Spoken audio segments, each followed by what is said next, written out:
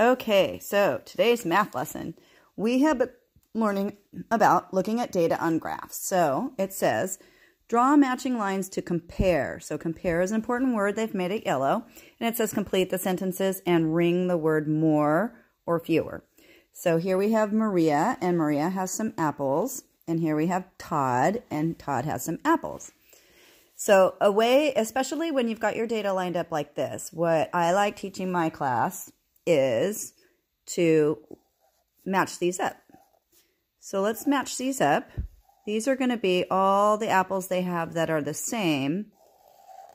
And then here, Maria's got more apples than Todd. Okay, so I look down here and I say, oh, not Maria, sorry, Mara. Mara has blank more or fewer apples than Todd. Okay, first of all, Mara has more, so I'm going to circle more. And then I'm going to count how many extra ones Mara has. She has one, two, three, four. So Mara has four more apples than Todd. And I'm going to cross out the word fewer.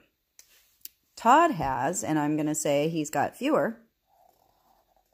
And here are the empty spaces here where his are fewer. And he has the same amount, one, two, three, four. Because if I had one here and one here and one here and one here, they'd be the same. So this is four here that are missing. So I'm going to say four fewer apples than Mara. So Mara has four more than Todd, and Todd has four fewer than Mara.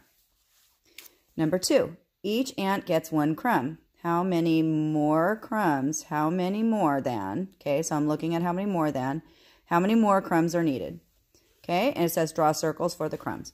Okay, so I'm going to match this ant got a crumb, this ant got a crumb, that ant got, got a crumb, and that ant got a crumb.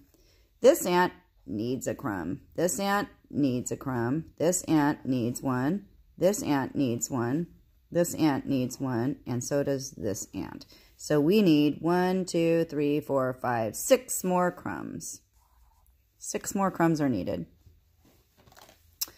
Number four, each bee gets one flower. How many extra flowers are there? So I'm finding out how many extra flowers.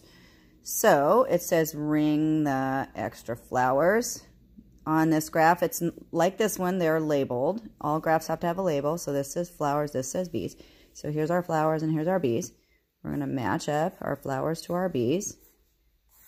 I'm going to cut the cake. And then one, two, three, four, five. There are five down belly hat, five extra flowers, and it says to ring the extra flowers. One, two, three, four, five.